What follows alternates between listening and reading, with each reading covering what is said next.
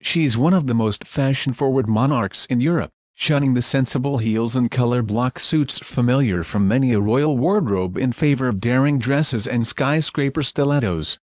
So it was no surprise to see Queen Letizia of Spain step out in a pair of skinny black leather trousers in Madrid on Wednesday. She paired the unusual frock with black skinny jeans and sky-high black patent stilettos. Her brunette hair slightly highlighted blonde ready for the summer in Spain. Queen Letizia is famed for her fabulous fashion choices across the globe with thousands of royal fans living abroad from her native Spain.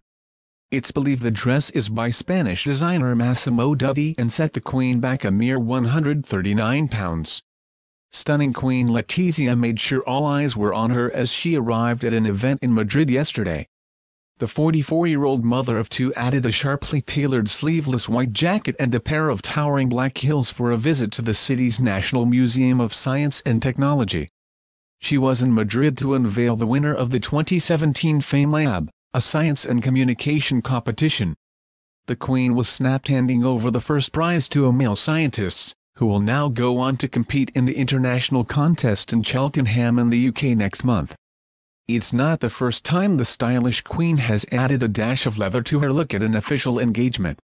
Earlier this month she attended an event at Spain's National Library with her husband King Felipe VI wearing a figure-skimming leather pencil skirt, and this week she made an appearance at a reception hosted by her mother-in-law, former Queen Sofia, in a burgundy leather peplum jacket.